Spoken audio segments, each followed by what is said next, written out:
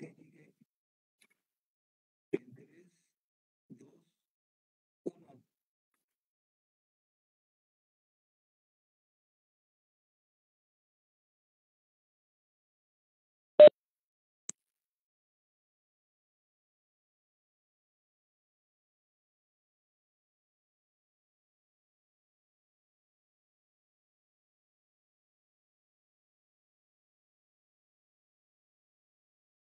Hola, buenas tardes.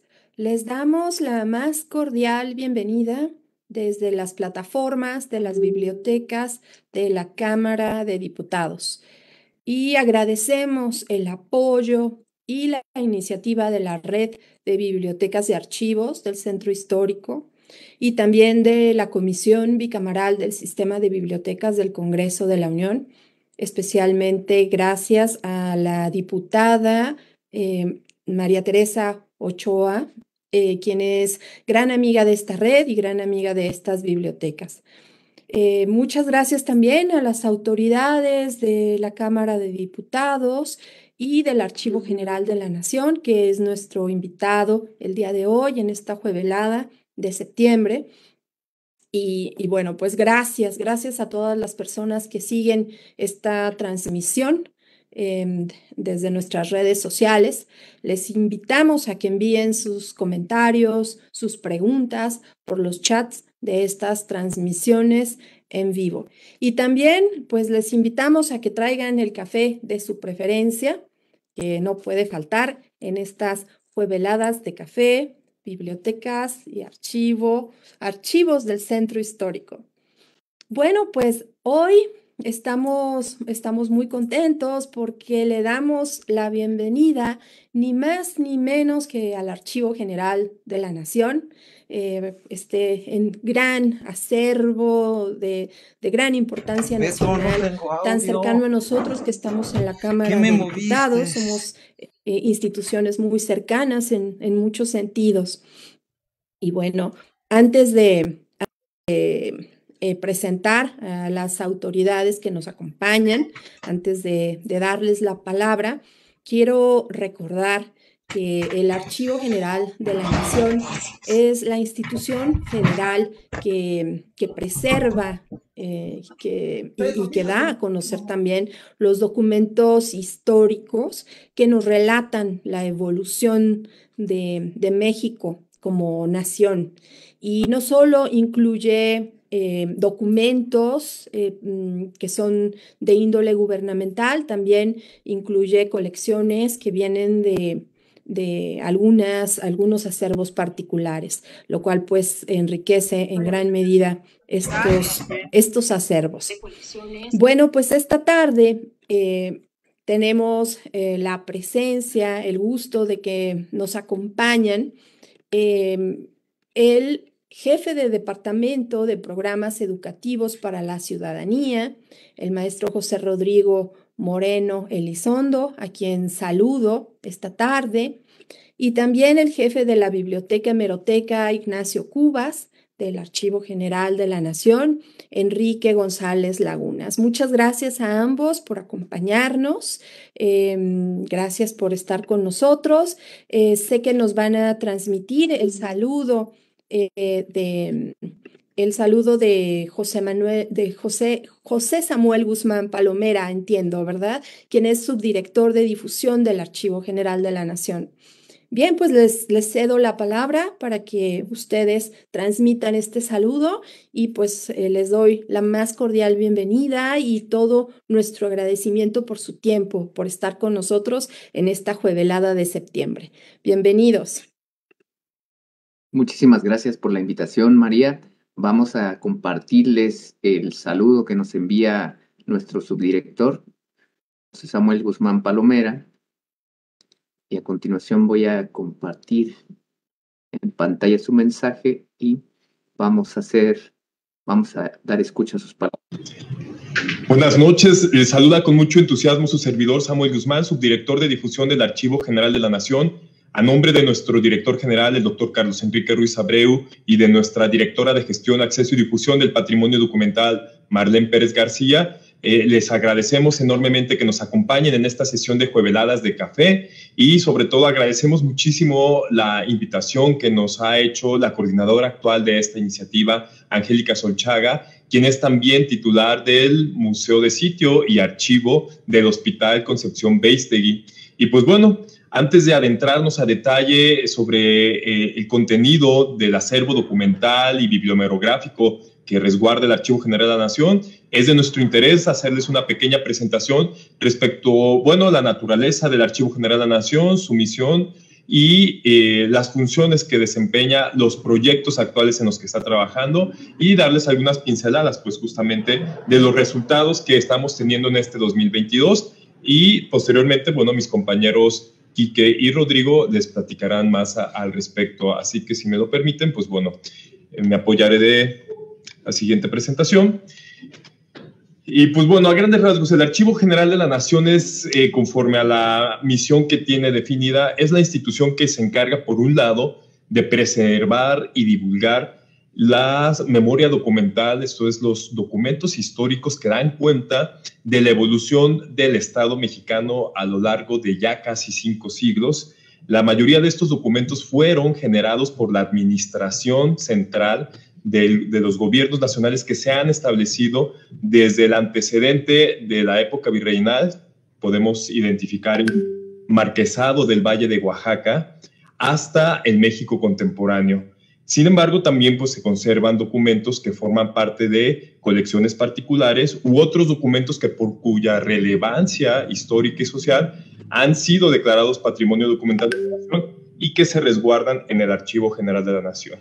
Y por otro lado, eh, pues bueno, la institución también tiene eh, la encomienda de realizar el acompañamiento y la inspección para asegurarse que las instituciones públicas manejen sus documentos conforme a la legislación vigente y para ello, pues bueno, hay una serie de estrategias que ahorita platicaremos al respecto. Pues bien, eh, lo que queremos destacarles es que eh, a partir de febrero del 2022, el Archivo General de la Nación experimentó un incremento del 96.8 de la plantilla del personal, lo que pues ha impactado favorablemente en los resultados para la preservación del patrimonio documental. Eh, a grandes rasgos les platicamos que para, eh, en materia de descripción de documentos, tan solo en documentos iconográficos, se aumentó hasta en 274% la capacidad para describir los, los, documentos y un 77% la capacidad de descripción de los textuales. En promedio antes se describían 1.152 unidades documentales textuales al mes y ahora se describen en promedio 2.048. En eh, materia de homologación de instrumentos de control y consulta de documentos textuales, la capacidad de, trabajo aumentó en 29%.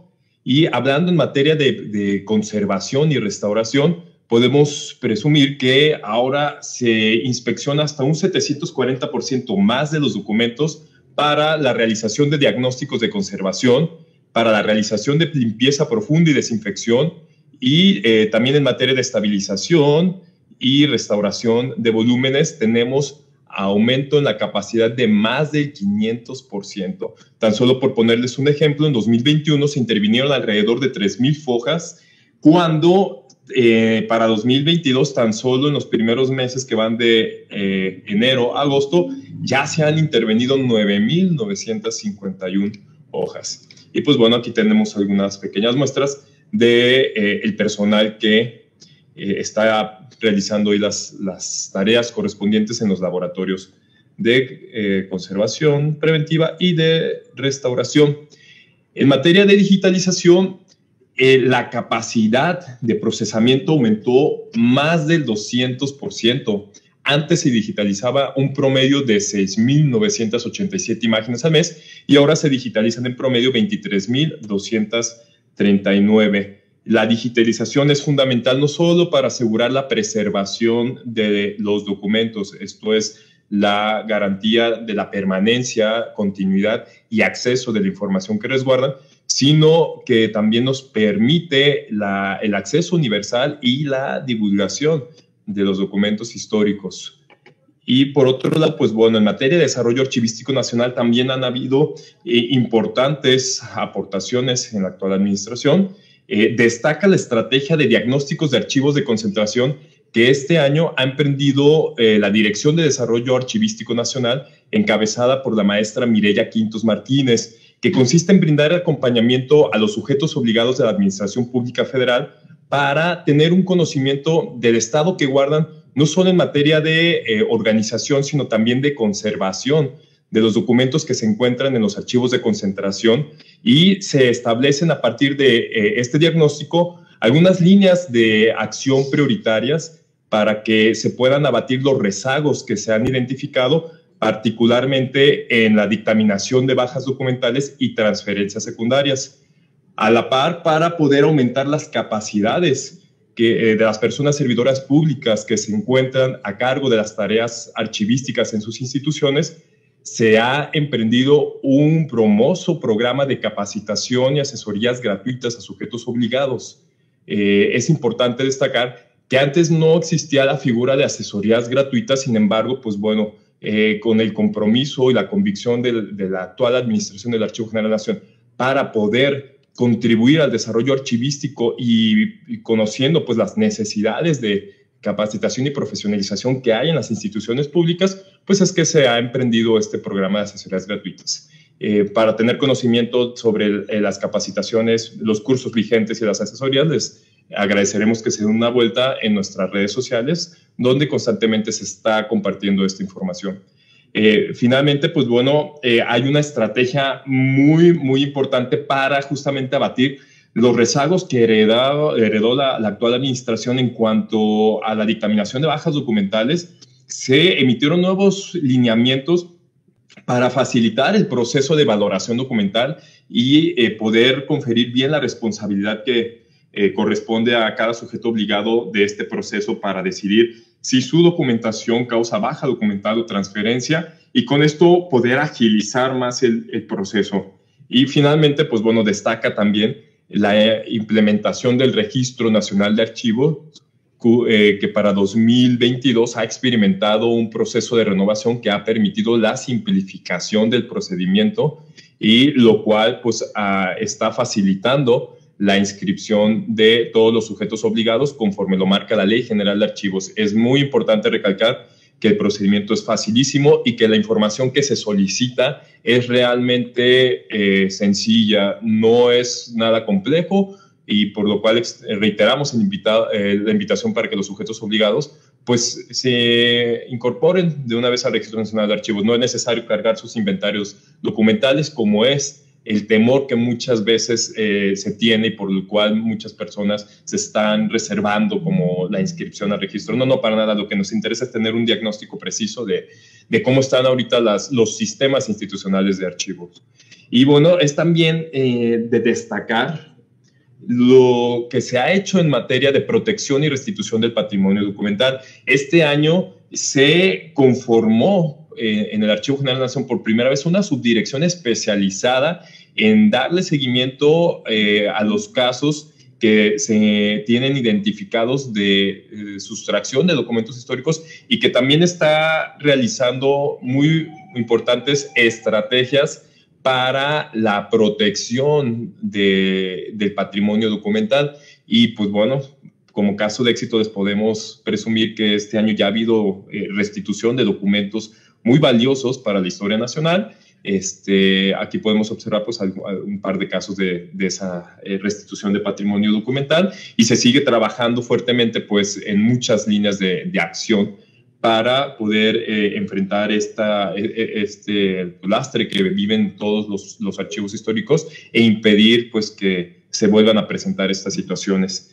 Y también es destacable eh, la participación que está teniendo el Archivo General de la Nación para eh, las tareas que realiza la Comisión para el Acceso a la Verdad, eh, que consisten básicamente en el acompañamiento y asesoría técnica para que los integrantes de la Comisión para el Acceso a la Verdad puedan tener el conocimiento archivístico necesario que les facilite la búsqueda e identificación de la información de su interés en los repositorios ah, documentales a los que están teniendo acceso para poder indagar eh, y saber la verdad sobre las violaciones graves a derechos humanos acontecidas eh, pues en el periodo que conocemos de, guerra sucia. Y en este sentido, pues bueno, ha sido muy destacable la participación que está teniendo el Archivo General de la Nación en, en la materia. Y pues bueno, un adelanto que les queremos compartir y que ya más adelante les podremos dar mayores detalles es, sobre la realización de proyectos de descripción, digitalización y conservación masiva que sumado al aumento de las capacidades de la propia institución está eh, eh, logrando que el acervo documental por fin pueda estar plenamente descrito y se pueda tener certeza de la información que contienen los documentos históricos que resguarda el Archivo General de la Nación. Eh, todo, todo este aumento de las capacidades y proyectos pues se ha dado gracias a la sensibilidad y el entendimiento que ha tenido el presidente de la República respecto a la importancia y el valor de la memoria histórica que custodian los documentos del Archivo General de la Nación. Y pues bueno, eh, de mi parte sería eh, lo que me gustaría compartirles y pues bueno, les cedo, les cedo los micrófonos a, a mis compañeros Rodrigo y Quique para que les platiquen un poco más al respecto. Y pues bueno, yo me disculpo por tener que despedirme en estos momentos para tener que atender justamente otra eh, otra conversación, pero pues bueno, ahí estamos a, sus órdenes y de nueva cuenta agradecemos muchísimo la invitación que hacen al Archivo General de la Nación.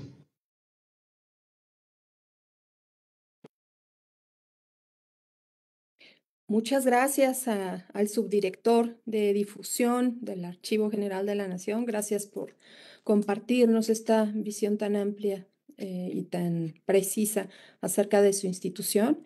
Eh, bueno, eh, doy la palabra ahora a José Rodrigo Moreno Elizondo, quien es jefe de Departamento de Programas Educativos para la Ciudadanía. Muchas gracias por acompañarnos. Adelante. Muchas gracias, María. Voy a compartir una presentación que preparé para la ocasión.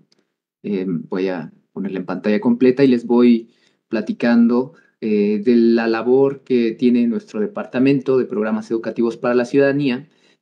básicamente, este departamento tiene la función de promover la conciencia entre la ciudadanía respecto de la importancia del patrimonio documental que resguarda la institución y que en general resguardan los archivos y las condiciones que lo hacen posible. Todo el trabajo que está detrás, tanto en términos archivísticos como en términos del funcionamiento de la institución.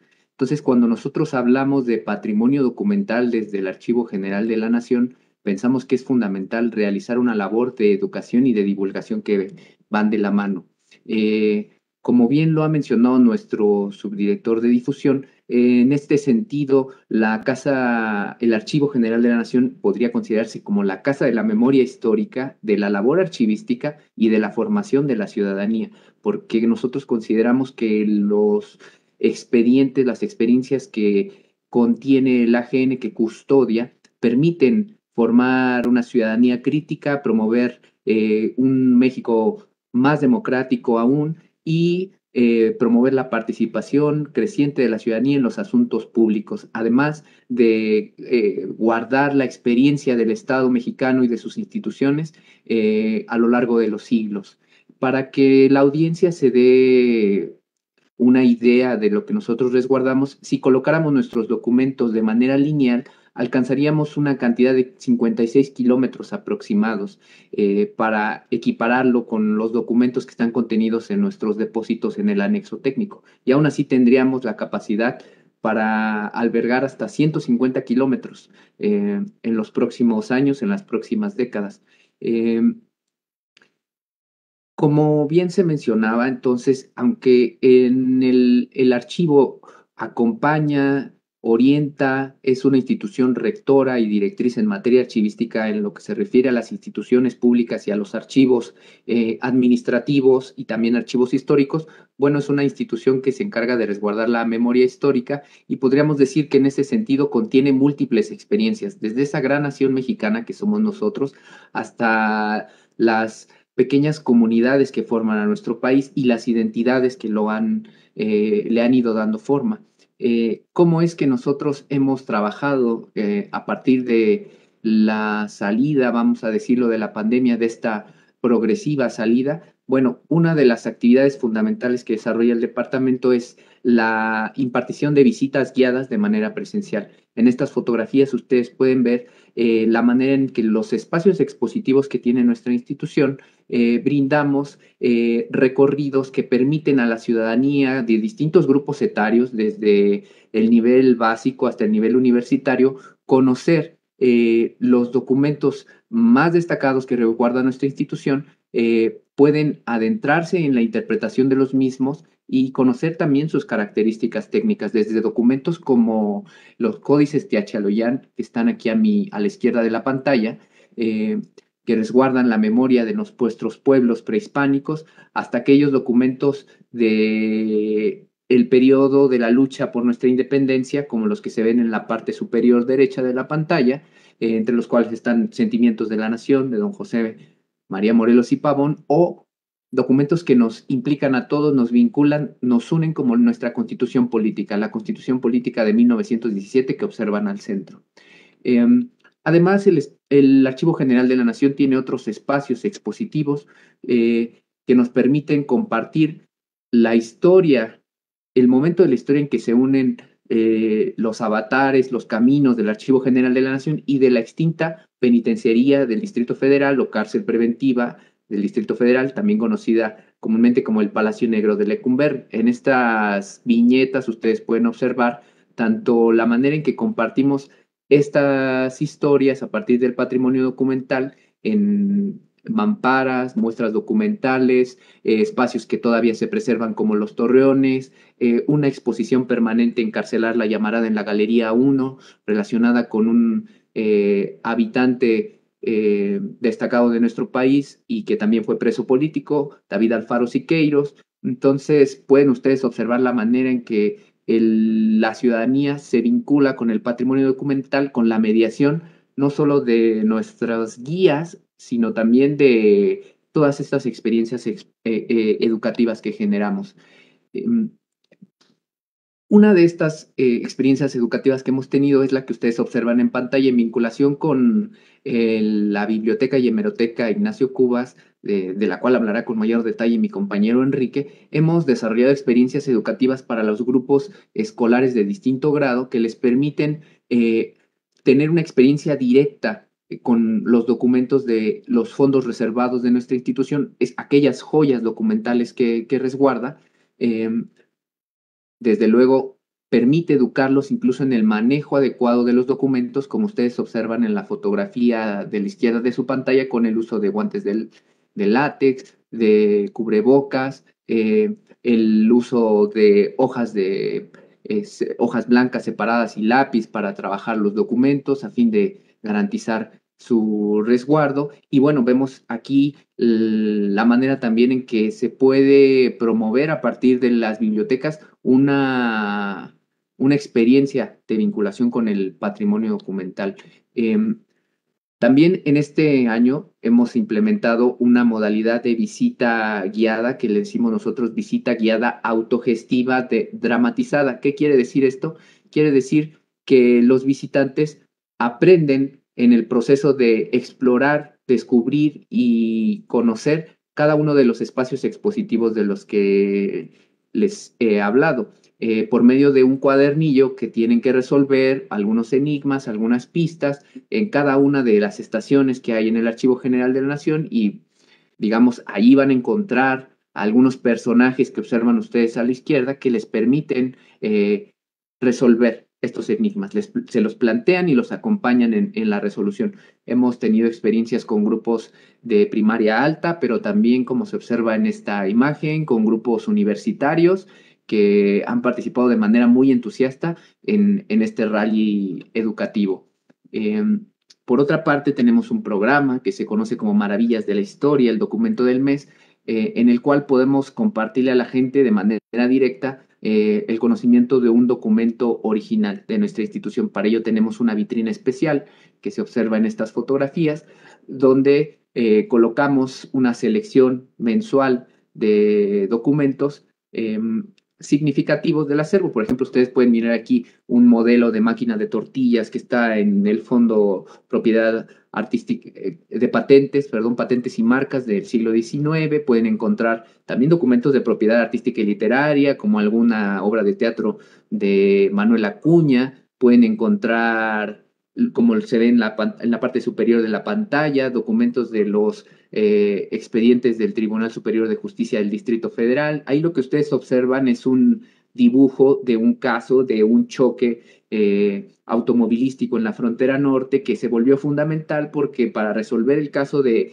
disputa entre las partes, el, dibujo que realizó el oficial era una prueba fundamental porque se había realizado casi al momento, ¿no? Entonces, digamos que casos como estos pueden encontrar ustedes experiencias de este tipo en, el patrimonio documental y como se dan cuenta, pues la ciudadanía se, se, vincula con, con, estas experiencias por medio de una inauguración en la que los invitamos justamente a, a formalmente presentar a la ciudadanía estos documentos y bueno, el interés que despierta es, es muy grande.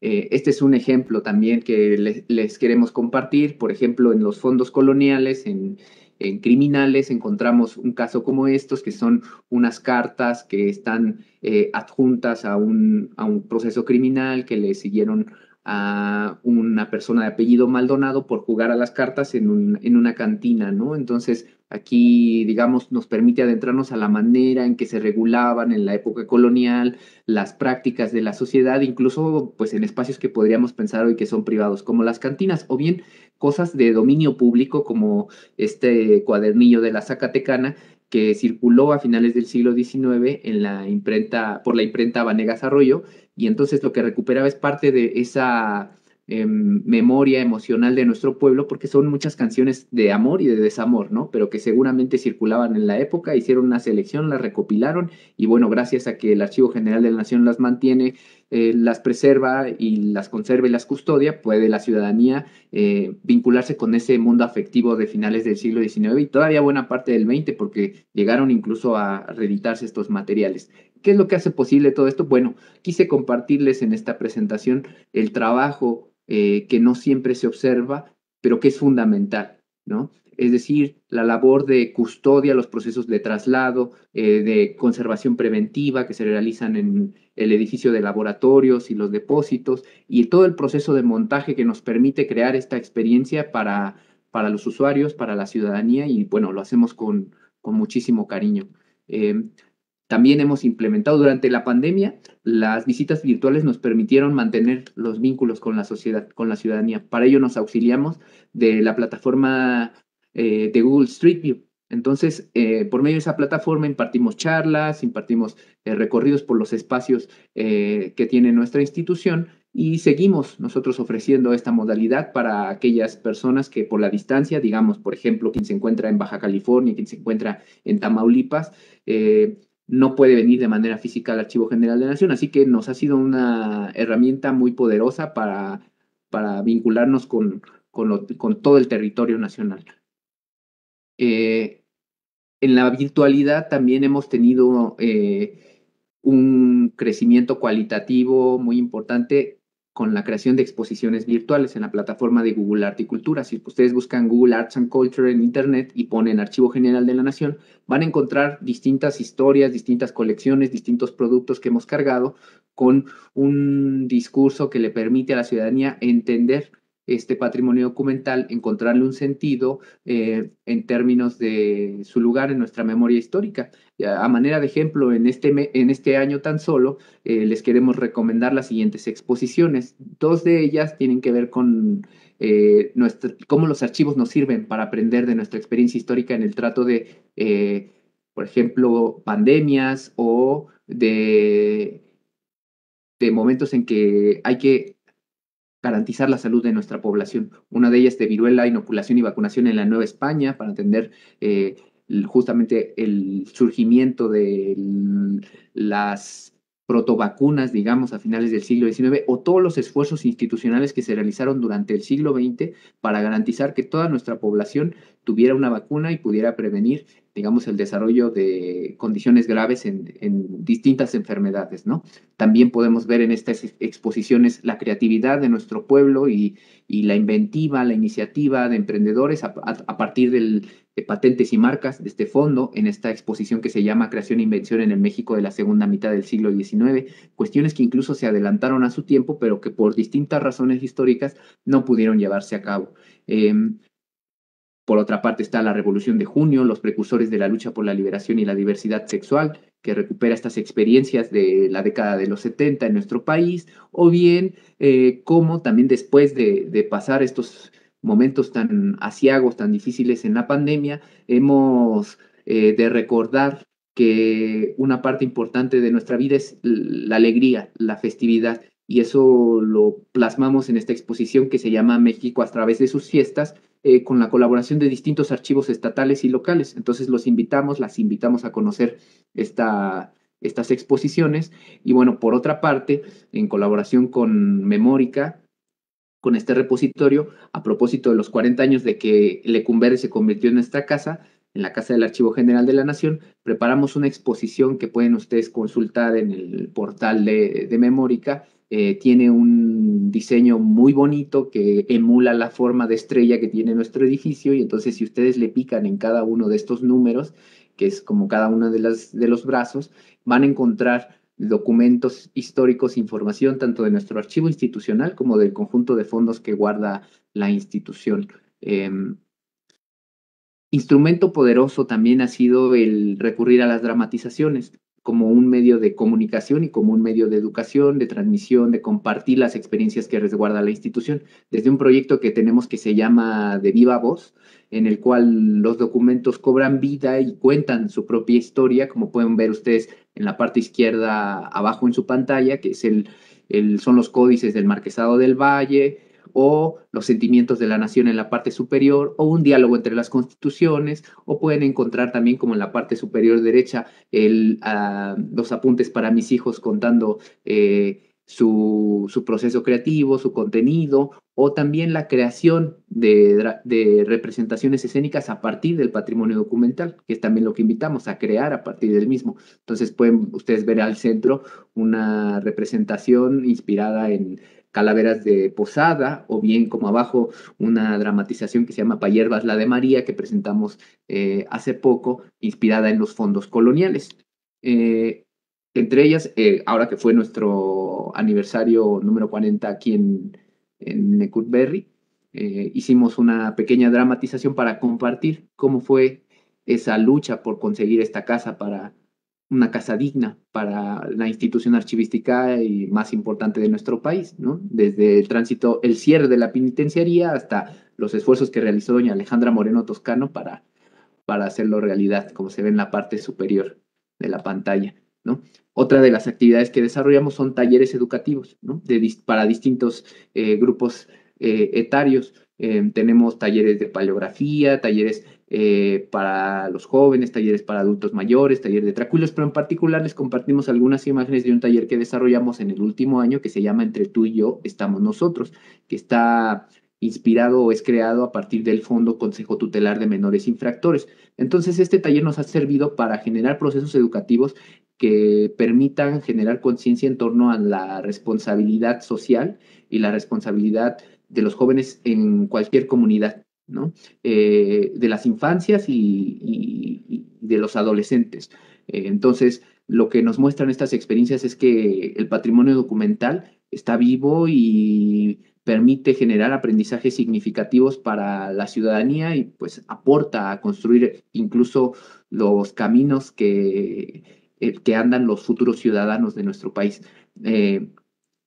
con el teatro también hemos implementado este año el taller de teatro y patrimonio documental, justamente nos planteamos con esta actividad educativa que nosotros decimos de formación intermedia, eh, dotar de herramientas a la ciudadanía, además de compartir el patrimonio documental, que les permitan crecer en lo personal, desarrollar herramientas de comunicación, de expresión corporal, eh, técnicas en materia teatral, porque tenemos en el Archivo General una compañera que es especialista en arte dramático. Entonces aquí les compartimos algunas viñetas también de ese proceso de trabajo y del resultado en la parte superior derecha que se compartió en una noche de museos de esta obra de la que ya les adelantaba algo, Payervas la, la de María.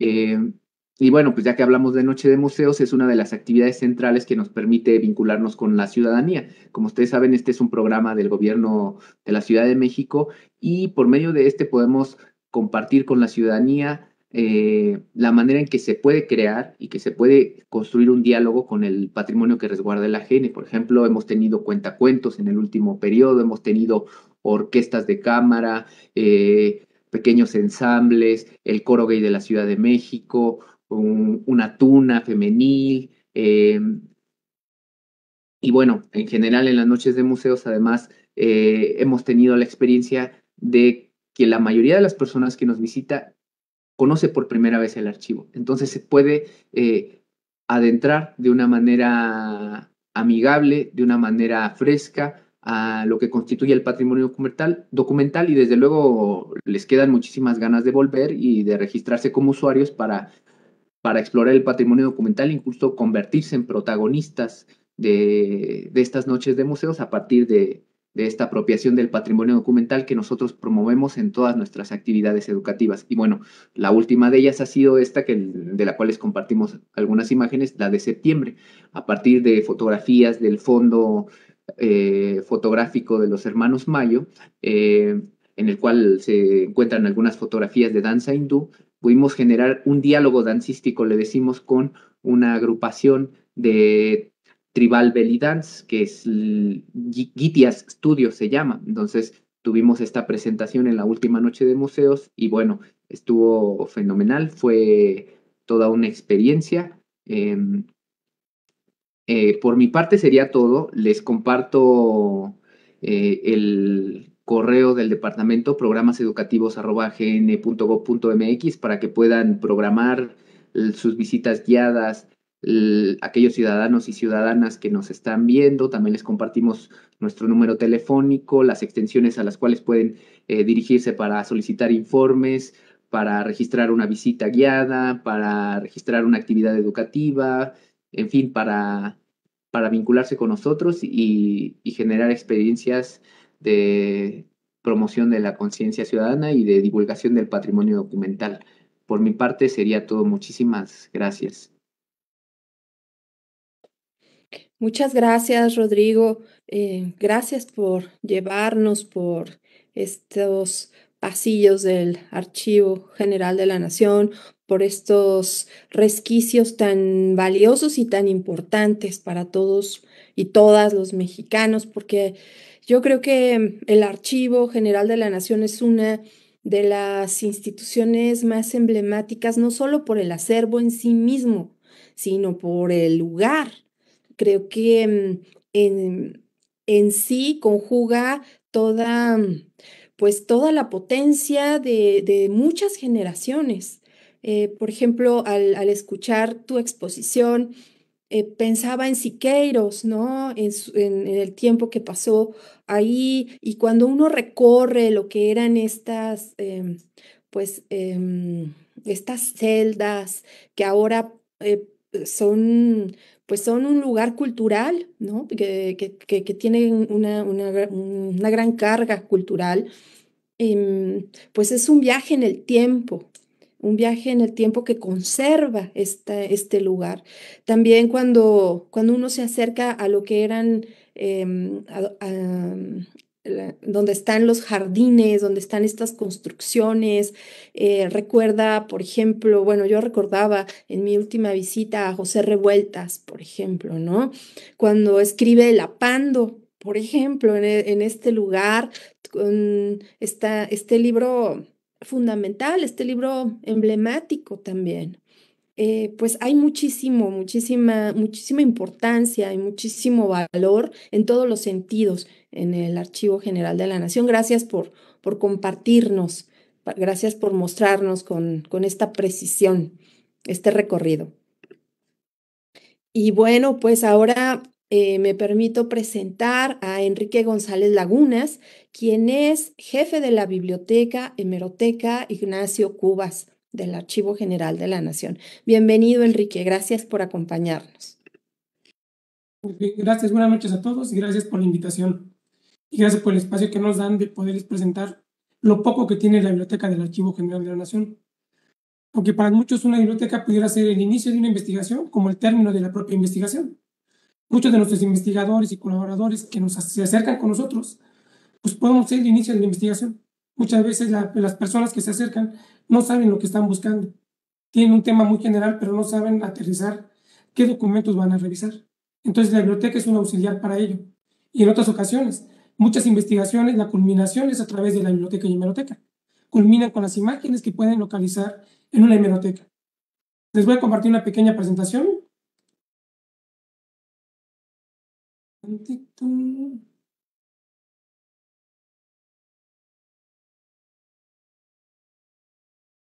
Listo. Ok, ya se ve la presentación, sí, ¿verdad? Ya. Ok, tenemos el Departamento de Aceros Bibliográficos, que es la Biblioteca Ignacio Cubas. No, aún no lo vemos.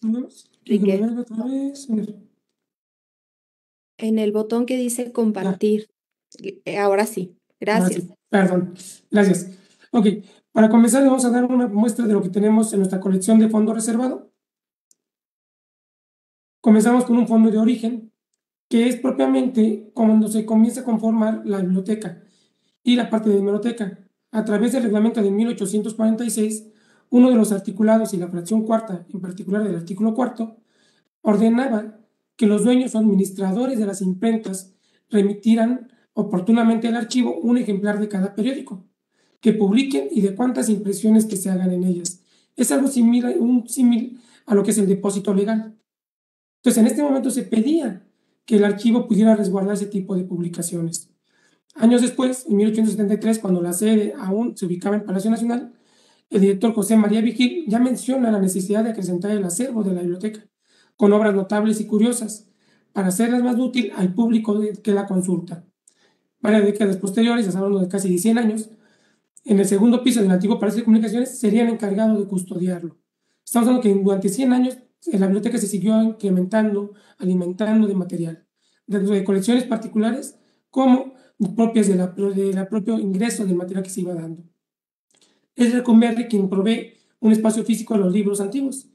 En 1882, al concentrarse las obras en lo que se llama panóptico del Archivo General, se detecta la trascendencia histórica de algunas de ellas y por ende inicia el proceso de identificación, organización y rescate del llamado fondo reservado. El sirve determinado para la salvaguarda del acervo bibliográfico y servicios propios de la biblioteca inicia en el año de 1988. Actualmente en el espacio físico donde nos encontramos está en la parte de lo que antes era uno de los talleres de Lecumberri, uno de los anexos, la biblioteca como tal. Y aparte también ocupamos espacios en lo que es la galería número 3, uno de los, de los brazos que tenía la parte de custodiar a las personas. Entonces ahora custodia ese conocimiento de esas personas porque ahora respalda la parte y protege lo que es el fondo reservado. Dentro del fondo reservado de origen tenemos una temporalidad desde el siglo XVI hasta la actualidad. ¿Por qué la actualidad? Porque hay obras que nos van llegando que por su representación histórica, tipográfica o por su número de edición pueden ser consideradas protegidas dentro del fondo reservado. El contenido de las obras puede variar en historia de México, administración pública, derecho, novela, literatura, etc. En los volúmenes que tenemos son 2.173 volúmenes con 4.107 ejemplares y una, dimensión lineal de 141.29 metros lineales. Los soportes documentales pueden ser libros, folletos, revistas, periódicos. Tipología documental, texto, gráfico y cartografía. Entre algunas de las obras que se pueden resaltar es una de 1575, que es una cuestión eh, en italiano, Istuniani este, de la jurisprudencia que habla. Otra de las más tempranas, tenemos una de 2008, que es la Asociación Presidencial de 1910, una obra editada durante la parte de los festejos del centenario de la Revolución y bicentenario de la Independencia. Por estas condiciones especiales que tuvo la edición, se consideró resguardarla en el fondo reservado de origen. Para darles una imagen más o menos, este es nuestro fondo reservado. Ustedes se dan cuenta que podemos ver la parte del lado, del lado izquierdo, la obra de Vicente Riva Palacios, México a través de los siglos, algunas de las obras que tenemos de las cartas de, las cartas de Santa Teresa, que también está del lado superior izquierdo, algunas de las obras que son como lo que es la parte del libro rojo, no sé si ustedes lo recuerdan, es un, es un libro que habla sobre las cuestiones de la época de la Inquisición, pero se le llama como libro rojo. Pero es un libro de color morado, empastado de otro tipo, pero así se le conoce, o el título de la obra, y habla sobre la cuestión de la Inquisición. Ahí podemos encontrar algunas leyendas, anécdotas de lo que pasaba en ese periodo. Otra de las colecciones que tenemos es el fondo del arquitecto Carlos Lazo Barreiro. No sé si ustedes han oído hablar de Carlos Lazo, que es, uno de los, de los administradores de Ciudad Universitaria y de constructores, de, iniciadores de la, Ciudad Universitaria. Nosotros tenemos la oportunidad de tener su biblioteca, la cual se, se estuvo gestionando durante 2011 para poderse incorporar con nosotros. ¿Y qué fue lo que se hizo? Hablar con la familia para que nos firmaran una carta de intención donde todos los familiares pudieran estar de acuerdo en que el material se resguardara en nuestras instalaciones. Se logró hacer eso, nos llevó unos cuantos meses el hacer un, inventario primero para que ellos tuvieran la certeza de lo que nos estaban entregando y nosotros tener la otra certeza de lo que estamos recibiendo. No solamente se trata del hecho de que nos van a integrar material, hay que hacer un proceso de incorporación y un proceso en el cual las personas que puedan estar involucradas o los familiares que puedan estar involucrados estuvieran totalmente de acuerdo. Porque puede suceder que alguno de ellos no estuviera de acuerdo y vengan a nosotros, a nuestras instalaciones, cuando ya tengamos el material, a pelearlo. Eso se veía muy mal. Entonces, por eso siempre se busca que los, todos los familiares o todas aquellas personas que son administradoras del bien que donó la persona estén totalmente de acuerdo y no tengamos esos problemas legales a futuro de que tengamos que reintegrar las colecciones o, en su defecto, materiales que ya se trabajaron se tengan que regresar. Y ahí tenemos una colección de 8.107 volúmenes con más de 200 metros lineales. El soporte pues, son papeles, libros, revistas, folletos, periódicos. Su tipología documental son textos, gráficos, audiovisual y cartográficos. ¿Qué tiene de peculiar también esta colección? Tiene alguno que llamamos nosotros actualmente los testigos. ¿A qué nos referimos con los testigos? Son aquellas aportaciones que hace el dueño de la biblioteca, que pueden ser anotaciones, pueden ser dibujos, pueden ser fotografías dentro de los mismos libros, que muchas veces no sabemos el por qué está ahí. Pero al momento de empezar a estudiar la colección y empezar a describirla, nos damos cuenta que tenía una razón de ser. De repente, Carlos Lazo era muy dado a hacer anotaciones de puño y letra en papelitos extras, o a veces en el mismo libro. Podemos tener un ejemplo no, no, tengo la imagen, pero es lo de la historia del Paricutín, de doctor Atle. Es una, una dedicatoria realizada por el propio doctor Atle y firmada por él al licenciado, al arquitecto Carlos Lazo. Eran muy amigos, demasiado amigos que se daban esa confianza de darles esas aportaciones. Entre las obras más antiguas es de 1566, que, que es una, una, cuestión de medicina, de de cirugía, que tiene que ver ahí. Ahí nos damos cuenta cómo la parte de, las personas particulares pueden llegar a adquirir material que al final del día son patrimonio cultural de nuestro país. Entonces, ese tipo de incorporaciones que damos nos permite rescatar esas obras que muchas veces en ninguna otra biblioteca las podemos encontrar por la temática de la propia biblioteca, de la razón de ser. Otra de las obras, pues es la más, más cercana, es de 2006-2011, que son los diversos caminos de los arquitectos, por obvias razones. El arquitecto Carlos Lazo Barreiro no solamente fue uno de los administradores de Ciudad Universitaria, también fue secretario de Comunicaciones y Transportes. Entonces, por su tendencia, pues se ha enfocado hacia los caminos, hacia la parte que tiene que ver con la geografía, toda esta parte, entonces su biblioteca se enriquece en ese sentido. Esta es una parte donde se encuentra ya canalizada en la Galería 3, uno de los acervos, donde podemos ver alguna parte de este material.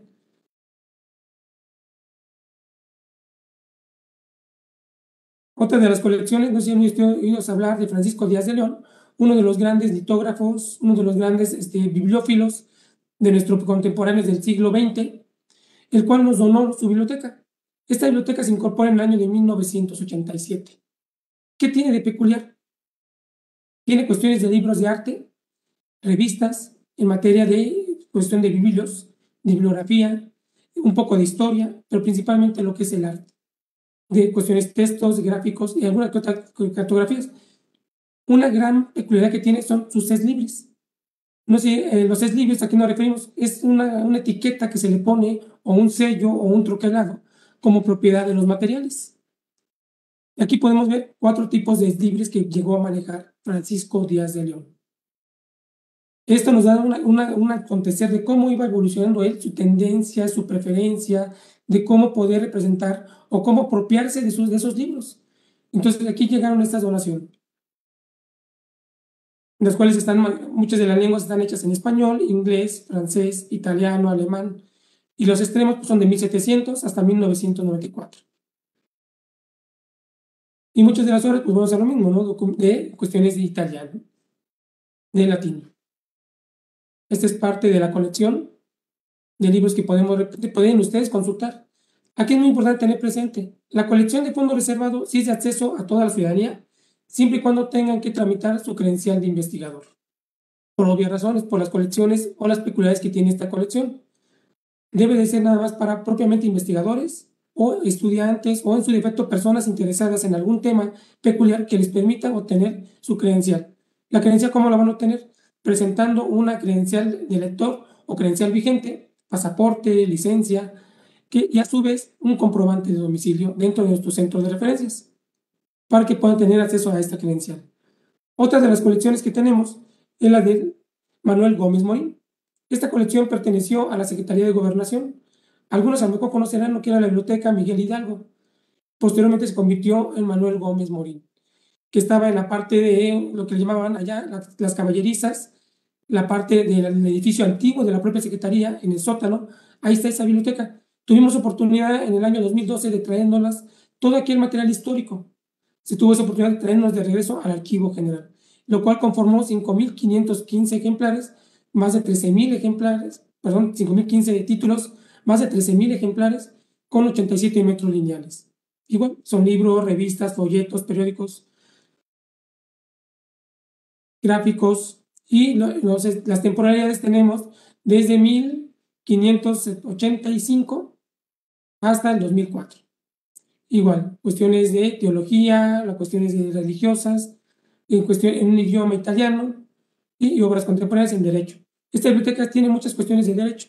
Algo peculiar que tenemos en esta colección es el tomo 43 de la legislación mexicana de Dublán y Lozano. Este tomo que tiene de peculiar se autoriza su edición. Muy pocas bibliotecas tienen este tomo.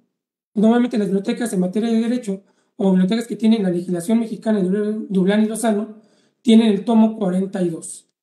Y todos estábamos en la idea que era el único tomo que se había publicado al final, y no. De repente nos topamos con la sorpresa que en este fondo, en esta colección, aparece el tomo 43, que corresponde a la época de 1913. Estas son algunas de las imágenes que podemos encontrar y algunas de las obras que podemos encontrar. Otra importancia que tiene esta colección es la folletería del siglo XIX. Mucha de la folletería les da un acontecer de, la, de, la, de, de lo que se vive en nuestro país. Los informes, la parte de, de algunos eh, paligéricos que se publicaban, algunos reportes que se publicaban de los, de los escritores del momento, algunos, eh, alguna parte de, de, la forma de pensar de la sociedad del siglo XIX. Entonces la folletería también es muy importante para las investigaciones, pero es muy, y aparte muy interesante y muy mm, difícil de trabajar porque pareciera que trabajamos 50 volúmenes o 50 folletos y no trabajamos nada en una dimensión lineal. Los espacios son muy pequeños, pero se trabaja muy rico. Otra tenemos una colección también en materia de legislación, es la legislación de Alfredo Sanabria. Alfredo Sanabria Romero fue un magistrado de la Suprema Corte de Justicia de hace una época de los 60, 70. Sus familiares nos donaron sus materiales, el cual corresponde a 18 títulos, 114 ejemplares, 3.5 metros lineales entre las colecciones que podemos, o los libros que podemos encontrar, la recopilación de leyes y decretos de 1828 hasta la de 1898, que es una, cuestión de presupuesto de egresos del área federal. Para aquellos estudiosos, podrán ustedes encontrar con nosotros los presupuestos de egresos de principios finales del siglo XIX y principios del XX, para que puedan ver cómo se movían así que los presupuestos en nuestro país. Esta es muy pequeña, pero también muy representativa en cuestiones de compilaciones de leyes. Estas compilaciones de leyes, ¿qué tienen de peculiar? Es una forma en que el autor separaba todos aquellos decretos que el diario oficial publicaba, bajo ciertos criterios muy particulares. Dublán y Lozano lo hizo, Arrillaga lo hizo, Brito lo hizo en su momento, la colección de leyes y decretos también lo hizo, que era un alcance que veía, que se venía en, el, en la publicación del diario oficial. No sé si llegaron a ver las publicaciones que eran de 60 por 70, de más o menos de dimensiones. Estas dimensiones, ¿qué hacían? En la parte final, en la parte baja, se publicaban ciertos compendios de leyes. Entonces se convertían en libros. Esto es, una representación de lo que se hacía dentro del diario oficial. Tenemos una pequeña colección de, que nos hicieron la parte de relaciones exteriores. Ahí fueron 23 títulos, 146 ejemplares. Por su relevancia, no por su antigüedad propiamente, son los años de 1848 y de 1879. Estas son obras que también pueden consultar. Son muy pocos títulos, pero también muy enriquecedora lo que pueden ver en ella. Nuestras colecciones generales, ahora sí, pues ya pasamos a la parte ya que la ciudadanía común, por llamarlo de algún término coloquial, puede tener acceso de forma libre sin tener que tramitar su pase de investigador. Tenemos lo que es nuestro Centro de Información Técnico Archivística CITA. Esto que es, es un centro especializado en materia de archivos. Ahí podrán encontrar libros que tengan que ver con la administración de archivos, la gestión documental, la paleografía, la parte de preservación, conservación, normatividad, la parte, una colección que nos donaron de Porfirio Muñoz Ledo, que son muchos de parte de libros que él tenía en una parte de su biblioteca y algunas folleterías y algunos compendios de, de artículos de periódicos. La colección de Secretaría de Agricultura, Ganadería y Desarrollo Rural también son libros, colección de revistas, la biblioteca del siglo XIX, y también son colecciones generales, pero por su antigüedad se pasaron al fondo antiguo. La biblioteca contemporánea, que estamos hablando, un ejemplo, es el periódico Nacional. Lo tenemos desde el año de 1929 hasta 1998 en que dejó de circular. En septiembre de 1998 dejó de circular el periódico Nacional. Nosotros tenemos toda su hemeroteca. Aquí es el, periódico más completo que tenemos para poder auxiliar a la ciudadanía. Tenemos ejemplares del periódico El Universal de 1917, el Excelsior de, algunos de 1916. Hay algunas lagunas por obvias razones. Nosotros recibimos materiales en calidad de donación, no se adquieren por compra. Entonces nuestras colecciones de alguna manera van a tener ciertas lagunas de información en algunos periodos de los años. Tenemos la colección general y de consulta y la importante, el diario oficial de la Federación. Este diario que nosotros por atribuciones legales, el archivo resguarda el, uno de los seis ejemplares, aparte de la Cámara de Diputados, la Cámara de, de Senadores, de los seis ejemplares que se publican en materia ya certificados del diario oficial. Nosotros somos una de las instituciones, pero también ¿qué hacemos? Certificamos la copia del diario. Para todas aquellas personas que desean tener acceso a una copia certificada, porque ejemplares ya no van a poder adquirir por obvias razones, pero sí van a poder adquirir una copia certificada para presentarla como prueba legal en los juicios que llevan a cabo, para poder contrarrestar alguna demanda, poder presentar alguna prueba de algún litigio de tierras. Van a poder encontrar aquí el diario oficial y lo tenemos desde el periodo de 1788 hasta la época actual. Hasta el día de hoy tenemos el ejemplar del diario oficial. Entonces estas copias son las que los ciudadanos vienen a consultar. Aquí lo que les pedimos nosotros es que cuando vengan los ciudadanos, que se, den la apertura, si no saben a, a veces lo que están buscando, que nos den la apertura de poder conocer el tema que están buscando. Muchas veces pareciera que nosotros queremos apropiarnos del tema o que somos la otra parte que le va a llevar la comunicación a la contraparte que está siendo demandada. No, nuestra función es poder auxiliar a la ciudadanía. Entonces, la única forma que lo podemos hacer es que ustedes nos compartan la información que ustedes tienen para poder empezar a cerrar esa, esa información de cómo localizar el decreto. Porque muchas veces traen la fecha de, de promulgación y pudo haber tardado un día en publicarse, como hasta más de cuatro años, en publicarse en el diario oficial. Entonces, la forma en que ayudamos al ciudadano a través de la consulta es eso, que nos den los términos que están buscando, las palabras claves, que nos puedan auxiliar para poder empezar a cerrar ese círculo y poderles dar la información que requieran. Durante este periodo de este año, uno de los avances que se dio, pues ya les había comentado que se mandó el fondo reservado a la Galería 3. Ahí nos llevó alrededor de un, menos de 20 días mover cerca de 40.000 ejemplares y tuvimos que mover cerca de, cerca de un kilómetro de material.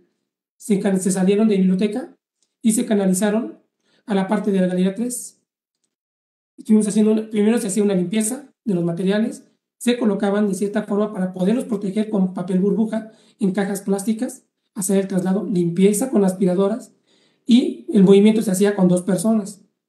En diablos también, que se trataban de que estuvieran rígidos, que no tuvieran un problema de que se fueran a caer.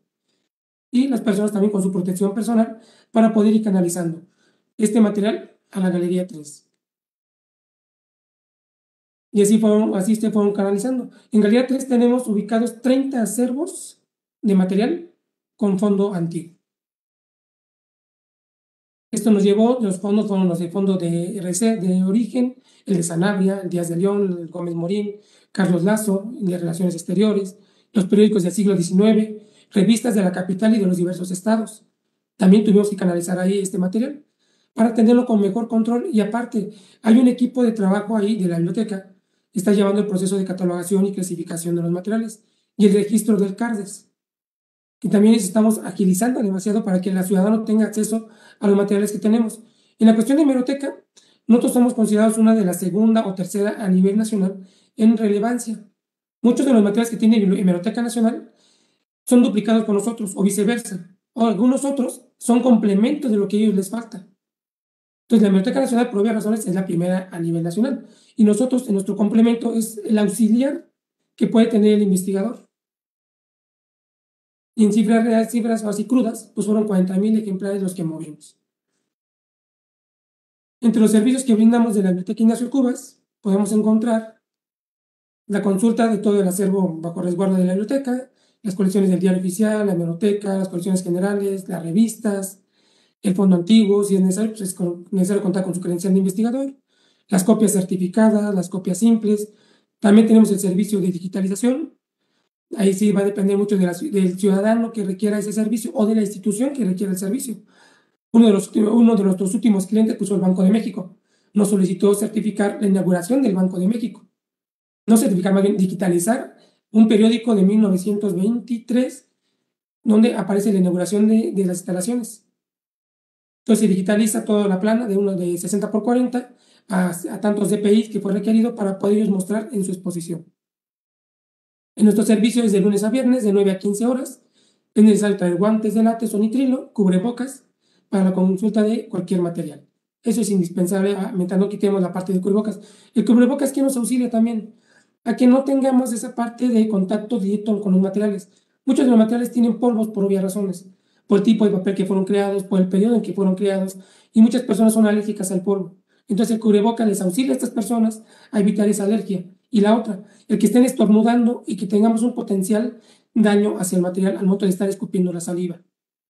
O en su defecto, de repente pueden tener un, un, un problemilla por ahí de que se trae un flujo mucho mayor, porque traen gripa. Muchos de los ciudadanos llegan a veces a venir aquí con gripa y se les acrecenta por el polvo que están manejando. Y no es un polvo que nosotros no, no queramos evitar. Se llevan a cabo los procesos de, de, de, aspirado, pero las personas son alérgicas. ¿Por qué se les piden también los guantes de látex y nitrilo? Muchas personas son, muchas veces tenemos la costumbre, de, los que somos de la vieja escuela, de llevarnos los dedos a la boca. Imagínense cuando nos llevamos un dedo a la boca, que ya después de pasar muchas cuestiones de las páginas del periódico, se nos pega en la parte de la, de la llama de los dedos, se nos ponen negras. Y muchas personas lo hacen de forma natural ese polvo o ese químico que están extrayendo del papel, este lo están llevando a la boca. Entonces tienen un grave potencial después de enfermar. Entonces el cubrebocas de alguna manera, allá al verlo nosotros visualmente, pues nos evita hacer esa costumbre, ¿no? Entonces es muy importante también tener esos, estas cuestiones de protección personal. Para muchas personas se les hace muy quisquilloso, muy engorroso de que por qué les pedimos. Tienen una razón de ser. Es también para proteger su salud y puedan ustedes tener acceso al material. Y se trata de evitar lo menos posible el daño del material. Es obvio que mucha consulta pues, se va a dañar a lo largo del tiempo. Entonces, ¿qué hacemos ahí? Digitalizarlo y poderlo poner a disposición en la pantalla algunas consultas de los materiales que vemos que son muy consultados. Y pues cerrando, su servidor, esta es mi cuenta de correo, ahí González, el teléfono de las extensiones donde los pueden ustedes localizar, la 19387, que es la de la jefatura, la 19503, que es la de la parte de servicio al público. Hay muchos de los servicios a partir de la pandemia en cuestiones del diario oficial se fueron agilizando a través de los correos electrónicos. No era necesario que el ciudadano viniera con nosotros. Entonces, ¿qué hacíamos? Nosotros hacíamos la recuperación del material y nada más le decíamos al ciudadano, contrata un servicio de mensajería, pueden venir a recogerlo, o ustedes mismos pueden venir a recogerlo y nada más se llevan sus copias ya certificadas previo pago de derechos. Por obvias razones, el pago de derechos para copias certificadas es de 24 pesos y la copia simple es de 5 pesos. Pues hasta ahorita creo que es mi participación. Espero que les hayan dado un grato, un grato sabor y tengan la curiosidad de venir a consultarnos. Van a, van a encontrarse con un grato sabor de boca con la gente que tenemos de apoyo, de servicio. Rodrigo no me deja mentir. Creo que la aportación que hemos tenido en conjunto como, como departamentos y, el acceso a la ciudadanía ha salido ahorita creo que hasta el momento satisfechos y con interés de volver a venir con nosotros a consultar ya como investigadores. Muchas gracias a Enrique González Lagunas. Gracias por esta exposición. Gracias a los dos, Rodrigo, Enrique eh, y José Samuel. Eh, nos, han, nos han presentado eh, cuestiones muy interesantes del Archivo General de la Nación. Y sí, creo que finalmente lo importante es que podemos acercarnos como investigadores. yo como investigadora en algún momento he ido, bueno, en varios momentos he ido al Archivo General de la Nación, mucho más que una cuestión institucional, simplemente hacer una, una búsqueda de, imágenes y de información. Y, sí, mm, puedo, puedo constatar el, buen servicio, el, excelente acervo que, tienen. Eh, y, por supuesto, pues em, una, una riqueza invaluable, una riqueza documental invaluable, ¿no? Así que pues muchas felicidades por, por gestionar este gran acervo y muchas gracias por compartirlo aquí con nosotros en esta, en esta velada de jueves. Pues voy a compartirles algunas, algunos saludos. No, creo que no tenemos preguntas. Ha sido muy claro todo lo que nos han eh, compartido. Nos dice Jorge Luis Jiménez Pérez, nos saluda a los organizadores de la Biblioteca Legislativa, nos saluda desde Villahermosa, Tabasco. Qué, qué bien, muchas gracias por los saludos. Saludos hasta Tabasco. Eh, nos, eh, nos, saluda también la licenciada Angélica Solchaga, coordinadora de la red de bibliotecas y archivos del Centro Histórico. Eh, nos saluda Elvira Sánchez, eh, la doctora Olimpia Guerrero nos saluda desde Tepito, le mandamos muchos saludos también, gracias por seguirnos en estas jueveladas. Lisboa Blues manda saludos a Rodrigo em, y, nos, y nos dice que quiere ir a la biblioteca de la AGN. Pues, pues qué bien, adelante. Y mm, Micaela Domínguez nos envía saludos, muchas gracias Micaela, parte de nuestro equipo de bibliotecas que también nos sigue eh, por estos eventos. Gracias Micaela. Nos dice Angélica Solchaga, maravilloso. Me siento muy orgullosa de esta, una de nuestras instituciones más importantes, así como del trabajo de nuestros colegas actuales y sus antecesores. Muchas gracias. Sí, pues sin duda creo que el AGN nos, nos provoca este, este orgullo, orgullo nacional. Y bueno, eh, no tenemos más, más preguntas, más comentarios.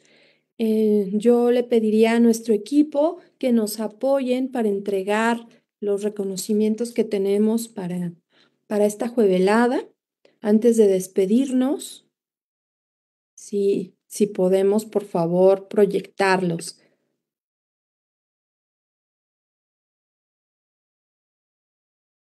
Este es, este es un reconocimiento para Enrique González Lagunas, eh, firmado por la coordinadora de la red de bibliotecas y archivos del Centro Histórico.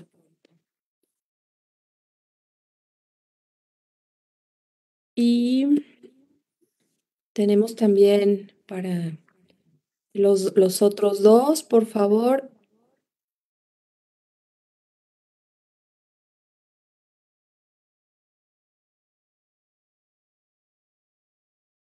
Bueno, tenemos eh, un reconocimiento para cada uno de nuestros ponentes que con gusto se les, se les hará llegar. Este es para José Rodrigo Moreno Elizondo por haber participado en este, en este evento.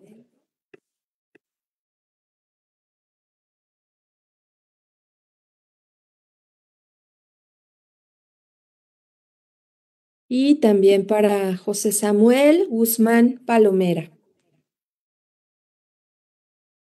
Pues muchísimas gracias Muchas, muchas gracias, colegas. Estamos a sus órdenes, aquí muy cerca en la Cámara de Diputados. Eh, somos prácticamente vecinos. Y, y, bueno, pues no sé si quieren comentar algo antes de despedirnos, algunas palabras finales.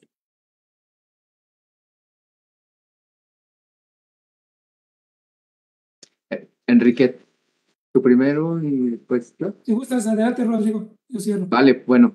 Entonces, muchísimas gracias por la invitación, María. Le agradecemos a la audiencia que nos ha seguido en esta ocasión, esta juevelada. La pasamos muy rico. Los esperamos en el Archivo General de la Nación y con las puertas abiertas de esta casa. Pues igual agradecerles totalmente el espacio que nos acaban de brindar para poder, o así como dicen, darles un poquito de lo que es el archivo general, porque realmente ya los investigadores son los que lo harán mucho a través de sus propias investigaciones, a través de sus propias aportaciones, y la otra, se den esa oportunidad de intercambiar, como dicen, los materiales ahí están, pero hay que saberles preguntar para que nos sepan contestar. Eso es muy importante tenerlo presente. En todas las bibliotecas, en todos los archivos, si no sabemos preguntar al material, él no nos sabrá contestar lo que estamos buscando porque al fin y al cabo es una extensión del conocimiento que tenemos como humanos, que está plasmado en un documento, que está plasmado en un libro, que está plasmado en una fotografía. El hecho de poder interpretar, el hecho de poderle preguntar al documento y decir, oye, quiero saber quién es tu papá, sabemos en los libros quién es el autor. En el caso de los documentos sabemos quién es el productor. Entonces hay que darnos esa oportunidad y ese acercamiento, no hay que temerle. Y otra más importante, el Internet no lo es todo. El Internet se crea a través de las bases que, se, que hay atrás de ese trabajo que tenemos todas las bibliotecas, de ese trabajo que tenemos todos los archivos, el Internet se crea de ahí. Entonces, no, no, no nos basemos nada más en esas imágenes que podemos encontrar en Internet. Qué bueno que existe. Pero al final, al final del día, ¿quién lo alimenta? Pues todas estas bibliotecas que formamos parte de una red y nos damos ese espacio de tener proyectos de digitalización, de proyectos de descripción, podemos alimentarlo. Es muy importante para que la ciudadanía que se acerque a cualquier biblioteca, no solamente nosotros, tenga esa apertura de decir, me voy a ensuciar un poco, sí, pero me voy a enriquecer del conocimiento que hay en un material. Muchas gracias, Enrique. Muchas gracias, Rodrigo. Excelentes comentarios de cierre. Y sí, efectivamente, bueno, ustedes hablaban de digitalización. Sin duda, la digitalización nos permite preservar. Sin embargo, eh, no, eh, no tenemos nada más Em, fiable en términos de preservación que los documentos mismos, que los libros mismos, porque eh, toda, todos estos avances tecnológicos eh, se están transformando, ¿no? y, y, si tenemos un soporte lo suficientemente antiguo, lo suficientemente fiable, pues son estos documentos que, eh, que preservan estas instituciones. Entonces, pues de ahí la importancia de conservarlos, porque son la memoria de nuestro, de nuestro pueblo, de nuestro país. Eh, así que pues es una tarea muy noble, muy loable y, y bueno, pues que sirva esto como marco para recordar por medio de esta juevelada la gran riqueza de los acervos eh, de las bibliotecas y los archivos que se encuentran en el centro histórico de la Ciudad de México porque son patrimonio de todas y de todos. Bueno, pues mm, despido esta juevelada recordando que estos eventos son transmitidos por las plataformas de la Biblioteca Legislativa y de la Biblioteca General del Congreso de la Unión. Em, agradecemos la presencia del Archivo General de la Nación en este evento y agradecemos también el apoyo eh, la, toda la organización de la red de bibliotecas y archivos del Centro Histórico, en especial de la licenciada Angélica Solchaga, quien em, eh, articula a todas estas organizaciones y, y pues que es, eh, es, fundamental para llevar a cabo estos eventos. Yo le envío un cordial saludo a la diputada Teresa Ochoa también, a todos los miembros de la red de bibliotecas y archivos del Centro Histórico. Gracias por acompañarnos. Nos encontramos en octubre, en el, último jueves de octubre para nuestra, nuestra próxima juevelada.